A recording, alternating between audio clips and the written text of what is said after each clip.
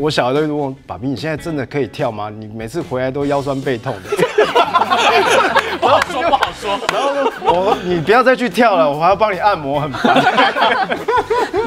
就是到了一定年纪，我们还是会希望，就是小朋友会知道我们做过什么东西，而且以前不同的团体是没有办法交流的。嗯，在那段时间，大家壁垒分明，各自的门派公司互相仇视。你们不要自己仇视，宣传彼此宣传都干人家拐子。真的假的？工作上面我们不可能在同一个节目上面出现，然后然后演唱会的场合也不可能一一定是一前一后，或者一一个一个中间一个后面这样。所以完全可以衔接你们，只有 Dennis。你可以衔接，因为主持人才可以衔接他们的王不见王，王不见。那个年代是啊，可是现在就 crossover 很厉害，现在电台也还是的，就是我上不了，对你曾经很难。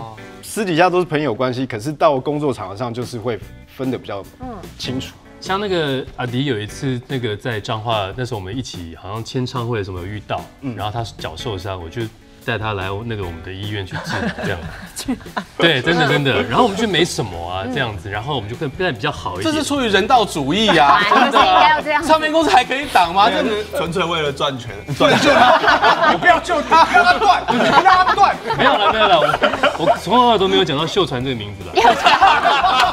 对，然后，但是我们就变得比较好。然后回台北之后啊，比方说。我们会去他们的舞蹈，就是舞蹈教室去找他们，然后他们的粉丝就在外面排好多，然后我们走过去了，哎，那 B A D，B A D，他们粉丝也会觉得很奇怪，哎，我们怎么会去找阿迪？对。对，也很怪，就说哎，那什么党哎，那什么党怎么会来？这种感觉，我们不是那么的明显，对对啊，其实我们觉得说，哎，应该玩在一起，所以这个联盟我觉得还蛮好的，看起来就是说我们从不同的团体，可是我们把所有东西拿开，我们还是一个热爱跳舞、唱歌的。一群男生，嗯，对啊。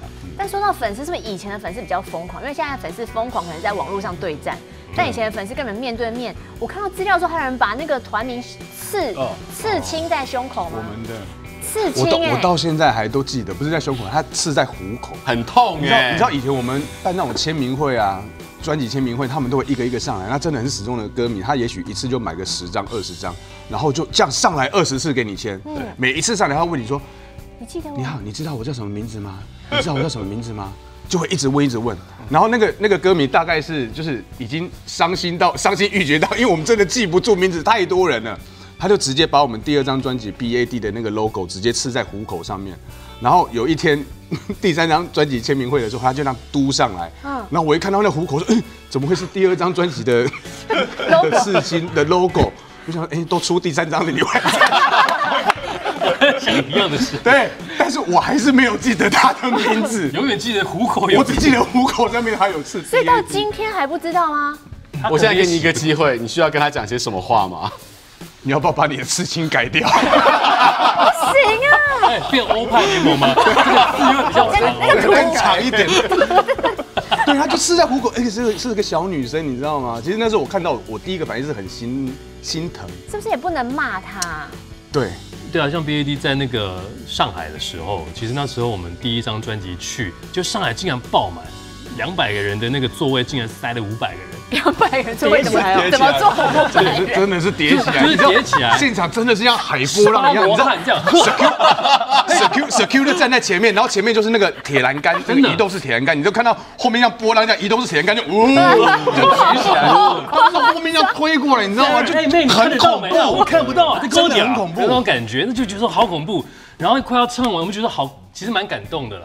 就像是虽然我们好像是动物一样喵喵喵，那可是他们就是会在那边看很多人这样子。然后最后一首歌唱，然后快唱完了，我们就说谢谢再见，我们要走了。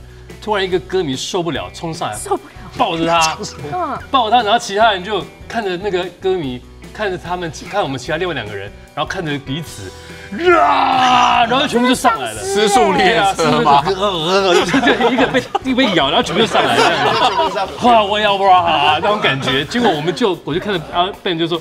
别人说就要快走，抓他赶快往后台跑，你知道吗？拉了就赶快走了，知道不能回头，一回头就哈，那种感觉其实就其实蛮感动的。现在想到鸡皮疙瘩，回想起来其实蛮有有趣有趣的，而且他们很有兄弟情，他们还还知道，不是说放给他们赶快跑，因为少了 A 就不能继续演唱了，就下下一个。下一个城市就不能去了。对啊，然后就救了他，其实还蛮感动的。那那时候觉得说，哎，其实我们还可以继续唱。其实那个他给我们的一个鼓励就是说，我们有被需要到这样。所以那个那个失速列车永远都记得。